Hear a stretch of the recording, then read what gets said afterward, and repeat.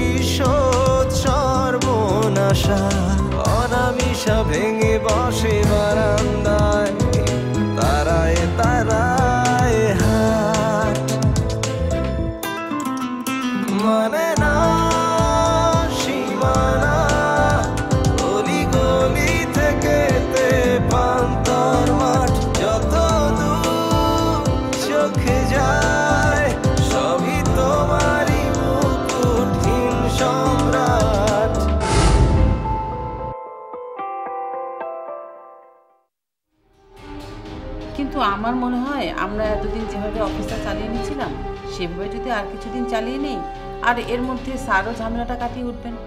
স্যারের ঝামেলাটাই এমন যেটা সহসায় কাটিয়ে ওঠার মতো না আর সেটা তুমি বোঝো আন্টি। আমিও তাই বলি ম্যাডাম। আপনি দায়িত্ব নিলে দায়িত্ব নিয়ে আরও ভালোভাবে কাজটা করতে পারবেন। সিস্টেমটা আরও বেশি জোরালো হবে ম্যাডাম। তাই দেরি না করে আপনার দায়িত্বটা বুঝে নেওয়াই উচিত। দেখেছ? আচ্ছা ঠিক আছে। তোমরা যখন এত করে বলছো তখন আমি ভেবে জানাচ্ছি। আন্টি ভাবার বেশি সময় কিন্তু তুমি পাচ্ছ না। সো যা ভাবার জলদি ভেবে নাও।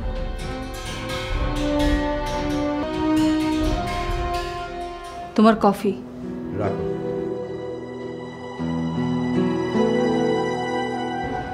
শোনো রিঙ্কি খেয়েছে? হ্যাঁ খেয়েছে। ও কি রাগ করে আছে? ওর রাগ তো তুমি জানি এই অনেক রাগ এই আবার পানি। কার যে স্বভাব পেল?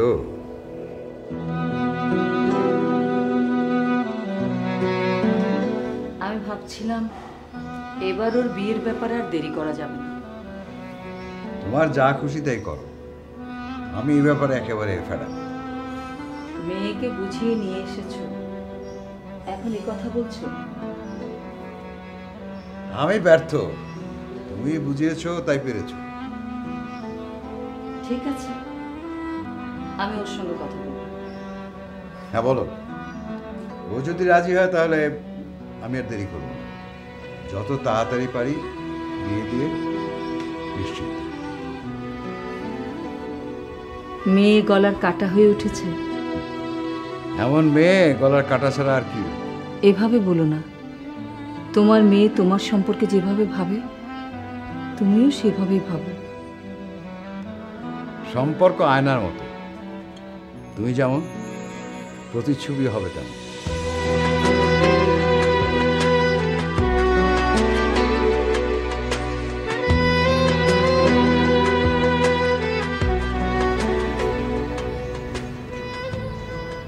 ব্যস্ত? না মা মোবাইলে গেম খেলছে এসো।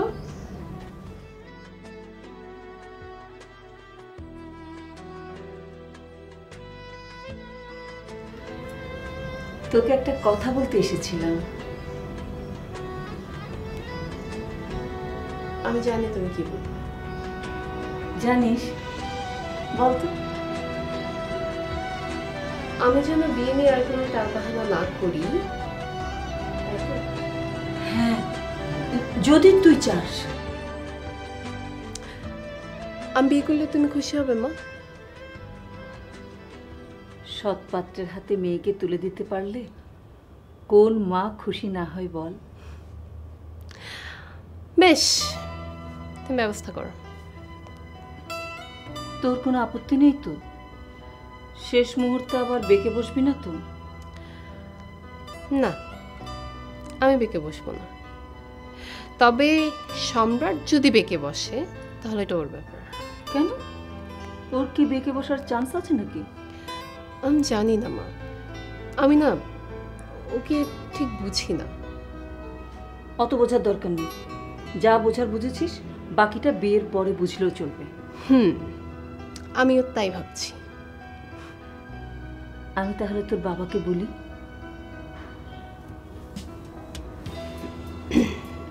রিঙ্কি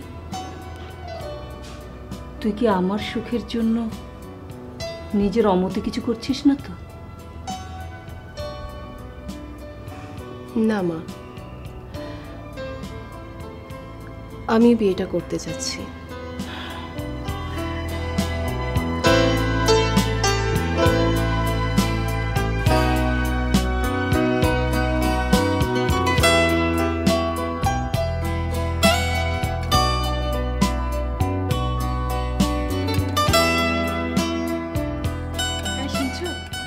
আমি তো অসাধ্য সাধন করেছি। যেমন? রিঙ্কি রাজি হয়েছে। তাই? হ্যাঁ। সহজই? ওর মধ্যে শুভবুদ্ধির উদয় ঘটেছে এইটাই যথেষ্ট। তুমি কালই সম্রাটের সঙ্গে কথা বলো। সম্রাটের সাথে কথা বলব কেন? বারে মেয়ের বিয়ে দিতে হবে না? হ্যাঁ দিতে হবে। কিন্তু সে ছেলে তো সম্রাট না। কি বলছো তুমি?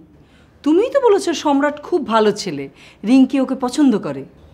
করুক কিন্তু সম্রাট না। কেন? আরে ওর তো জন্ম পরিচয়ই ঠিক নেই। মানে?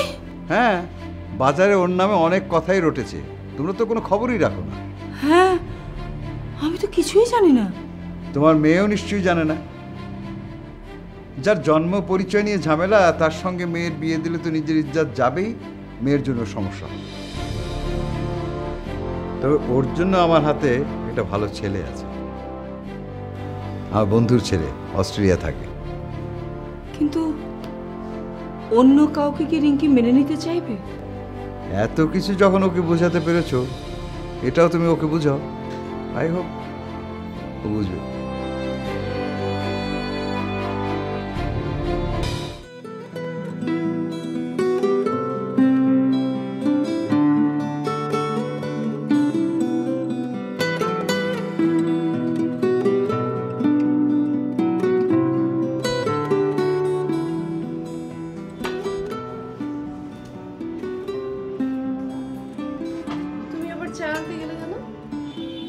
আনলাম না হয়। কদিন পর তো বিয়ে হয়ে মেয়ে বাপের বাড়ি ছেড়ে শ্বশুর বাড়ি চলে যাবে। তখন কি আর ইচ্ছে করলে মেয়েকে যখন তখন চা খাওয়াতে পারব? মা হোয়াট এ ডায়লগ শুধু তোমার না সত্যি যে প্যাকেজ নাটকে অ্যাক্টিং করা উচিত। প্রস্তাব পাইনি ভেবেছিস? কত ডিরেক্টর আমাকে অফার করেছিলেন? করলে না কেন? বাবা নিষেধ করেছিল। হুম বাবা না তুই। মানে? মানে ছোটবেলায় আমাকে ছাড়া তুই এক দণ্ড থাকতে চাইতি না। আমারও অবশ্য তোকে রেখে কোথাও গিয়ে শান্তি লাগতো না তাই। ইস মা। আচ্ছা শোনো আমি ঠিক করেছি যে বিয়ের পর তোমাকে আমি আমার কাছে নিয়ে রাখব। মেয়ের শ্বশুর বাড়িতে গিয়ে থাকব আমি। আমার মাথা খারাপ হয়েছে? তো? সম্রাটের বাড়ি তো ফাঁকাই থাকে। ওর তো মাও নেই বাবাও নেই। তোমাকে তো মা ভেবেই রাখতে চাইবে। হ্যাঁ কিন্তু একটা টেকনিক্যাল সমস্যা হয়েছে। কি সমস্যা? সম্রাটের মায়ের ব্যাপারে তুই কি কিছু জানিস? মায়ের কি জানব? তোর বাবা কাল রাতে বলল সম্রাটের নাকি জন্ম পরিচয় ঠিক নেই। এটা এখন অনেকের মধ্যেই জানাজানি হয়ে গেছে সেজন্য এখন সে আর অফিসেও যাচ্ছে না। বলো কি? আমি তো এসবের কিছুই জানি না। তোর সাথে ওর যোগাযোগ হতো না? না আসলে কিছুদিন ধরে ওর সাথে আমার যোগাযোগ হচ্ছিল না। মানে আমি ওর ফোনটা বন্ধ পাচ্ছিলাম। আমি তো ভেবেছি হয়তো দেশের বাইরে কোথাও গিয়েছে তাই এই জন্যই ফোন বন্ধ। এখন সব কিছু জেনে শুনে এরকম একটা ছেলের কাছে তোর বাবা তোকে বিয়ে দিতে চায় না। আমি আচ্ছা মা ওয়েট ওয়েট আমি আমি একটু খোঁজ খবর নিয়ে দেখি। তুই চাইলে খোঁজ নিয়ে দেখতে পারিস। আমি এক্ষুনি দেখছি।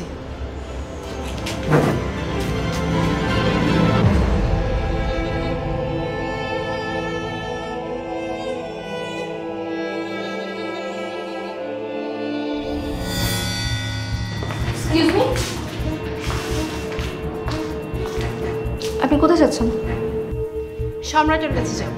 আর আপনি কে? তার আগে বলো তুমি কে? দেখুন ভদ্রভাবে কথা বলুন। তুমি? তোমার মতো একটা মেয়ে আমাকে ভদ্রতা শেখাবে। সালেখাস। আপনি কি এমন ইম্পর্টেন্ট মানুষ যে আপনি এইখানে এসে হেই! তুমি এই অফিসে চাকরি করো না? করি তো। দুদিন পর তোমার বেতনের চেকে আমার সাইন করতে হবে। আর তুমি আমাকে বলছো আমি কে? আর ইউ ম্যান মানে সব পাগল ছাগল কোত্থেকে এসে জোটে এখানে? হেই মুখ সামলে কথা বলো। নাইলে কিন্তু কি করবেন আপনি? কি করবেন? দেখতে চাও? দেখতে চাও তুমি কি করব? কি ব্যাপার কি? কি হয়েছে এখানে? আন্টি দেখো না কোথা থেকে কোন মেয়ে এসে অফিসে মিসবিহেভ শুরু করে একটা চর মেরে তোমাকে তুমি জানো তুমি কাকে কি বলছো? এক্সকিউজ মি আপনি রিঙ্কি না? মানে হেলথ ডিপার্টমেন্টের ডিরেক্টর সাহেবের মেয়ে না আপনি? জি। এই তো আপনি আমাকে চিনতে পেরেছেন। আচ্ছা এরা কারা বলুন তো? মানে আপনি কি করে এদেরকে চাকরিতে রাখেন? সরি সরি ও আসলে বুঝতে পারেনি। পিয়া সে সরি কি হলো? আমি বলছি না? সরি দেখলেন তো? বিয়াদব একটা মেয়ে। বাদ দেন। আপনি এখানে মানে আমি সম্রাটের কাছে এসেছি। ও আচ্ছা আচ্ছা ঠিক আছে আসুন আমার সঙ্গে।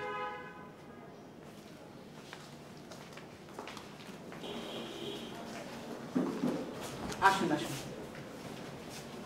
প্লিজ সিট আমি এখানে বসতে আসিনি। সম্রাটের খবর বলুন আমাকে। ওর ফোন অফ কেন? স্যার তো অফিসেও আসছেন না। তাহলে আমি ওকে পাবো কোথায়? আমি যতটুকু বলতে পারি যে এখন তাকে পাওয়া সম্ভব নয়। কেন? কারণ আমার জানা মতে উনি এখন ঢাকার বাইরে আছেন। কোথায়? এ ব্যাপারে উনি কিছু বলে দেননি। আর আমাদেরকেও যোগাযোগ করতে নিষেধ করেছেন। স্ট্রেঞ্জ স্যার আসলে সব কিছু থেকে একটু মুক্ত থাকতে চাইছেন। কেন? সেটা তো বলতে পারব না। সম্রাটের নাকি জন্ম পরিচয় ঠিক নেই। এটা এখন অনেকের মধ্যে জানাজানি হয়ে গেছে সেজন্য এখন সে আর অফিসেও যাচ্ছে না। তার মানে ওর ব্যাপারে যা শুনেছি ওর মা দেখেন শোনা কথায় কান না দেয়াই ভালো। কিন্তু এখন তো দেখতেই পাচ্ছি। এছাড়া তো আর অন্য কোনো কারণ থাকতে পারে না ওর গা ঢাকাতে আর। বলুন কারণ আছে? আমি এই ব্যাপারে কোনো কথা বলতে চাই না। আপনাকে কিছু বলতে হবে না। যা বোঝার আমি বুঝে গেছি।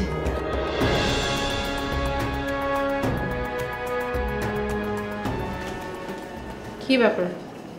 আপনি এখানে দাঁড়িয়ে? সরি রিঙ্কি ম্যাডাম আমি আসলে আপনাকে চিনতে পারিনি। এখন তো চিনেছেন। জি। আচ্ছা স্যারের সাথে তো আপনার বিয়ের কথা চলছিল তাই না? বিয়ের কথা চলছিল না চলছে। ও আচ্ছা। আমি তো জানি যে ডাক্তার ম্যাডামের সাথে স্যারের ডাক্তার ম্যাডাম? সে আবার কে? ও মা আপনি ডাক্তার ম্যাডামকে চেনেন না? ওই যে সম্রাট যখন গুলি খেয়ে হাসপাতালে ছিল তখন যিনি ওর ট্রিটমেন্ট করলেন উনি? হ্যাঁ হ্যাঁ উনি। ওর সাথে সম্রাটের কি বাজে বকছেন আপনি? এটা বাজে বকছি কিনা তা তো জানি না তবে হ্যাঁ কক্সবাজার তাদের দুজনকে দেখে তো আমার এমনই মনে হচ্ছিল। কক্সবাজারের দুজনকে একসাথে? মানে? ও মা আপনি কি দেখছি এসব কিছুই জানেন না। আপনি স্যার কেমন গার্লফ্রেন্ড বলেন তো? হাউ ডেয়ার ইউ আচ্ছা দেখেন আমি আপনাকে রাগাতে চাচ্ছি না।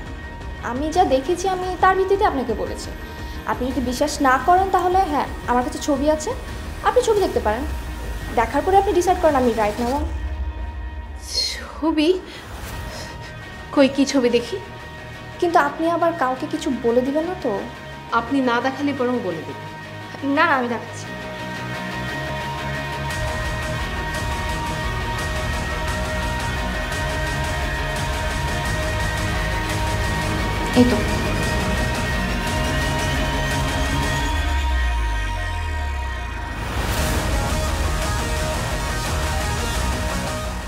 রিকি তুমি এখান থেকে চলে যাবে।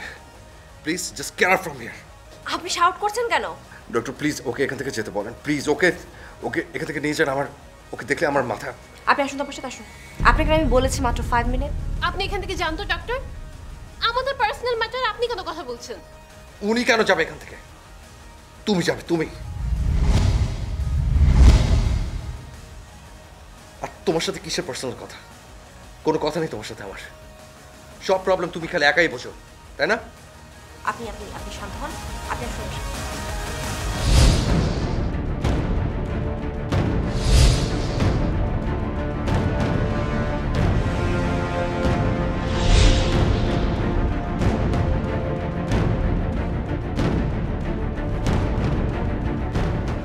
কি?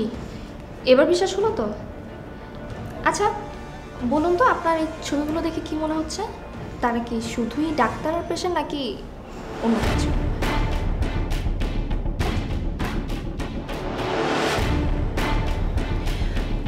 আপনি এসব ছবি কোত্থেকে পেলেন? আমি তো আশেপাশেই ছিলাম। আমি তো স্যারের পিএ সো স্যারের সাথে তো আমাকে যেতেই হয়। তবে হ্যাঁ আর যাই হোক স্যারকে কিন্তু দুশ্চরিত্র বলা যাবে না। দ্যাটস ফর শো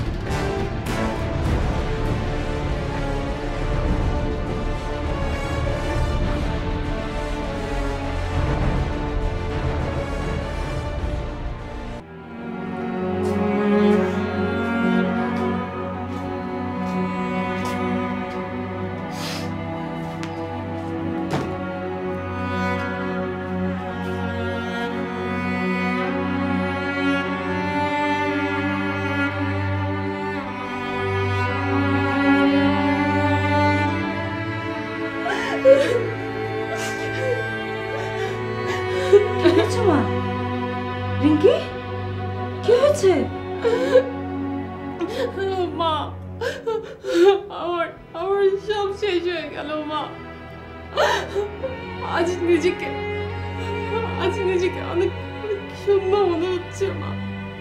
তার মানে তোর বাবা সম্রাট সম্পর্কে যা জেনেছে সব সত্যি? সত্যি। সম্রাট একটা প্রতারক। এভাবে কেন ভাবছিস মা? এমনও তো হতে পারে। ওর মায়ের ব্যাপারেও কিছুই জানতো না। ওর দিকটা একবার ভেবে দেখ। ওর উপর দিয়ে কি ঝড় যাচ্ছে? শুধু ওর মার ব্যাপার হলে আমি কিছুই বলতাম না। ওর মাকে বাবাকে তাতে ওর তো কোনো হাত নেই। কিন্তু কিন্তু ও যা করেছে। তোকে কিছু বলেনি তাই তো? হয়তো লজ্জাই বলেনি। লজ্জা? ওর মতো ছেলের আবার কিসের লজ্জা? লজ্জাই তো গা ঢাকা দিয়েছে। না আমি ওর মার ব্যাপারে কিছু বলছি না। তাহলে? ও আমার সাথে প্রেম করে বিয়ের নাটক করে রিলেশন করেছে আরেকটা মেয়ের সাথে মা। কি বলছিস? আমি আমি নিজে তার প্রমাণ দেখে এসেছি। কার সাথে? আছে একটা ডাক্তার। ছি ছি ছি ছি। এখন তো দেখছি এই ছেলে শুধু জন্ম পরিচয়ে ঝামেলা না সে তো মানুষ হিসেবে কিন্তু মা ও আমার সাথে এত বড় প্রতারণা কেন করল? যা হয়েছে তো ভালোই হয়েছে। আগে ভাগে সব কিছু জানা হয়ে গেল। বিয়ের পর যদি এত সব কিছু হতো কি কেলেঙ্কারি হতো একবার ভেবে দেখ। ছেলেরা আসলে এমনই হয়। না মা একজন দুজনের জন্য সবাইকে এক কাতারে ফেলাটা ঠিক না। আমি বলি কি তুই ওকে ভুলে গিয়ে নতুন করে আবার চিন্তা কর।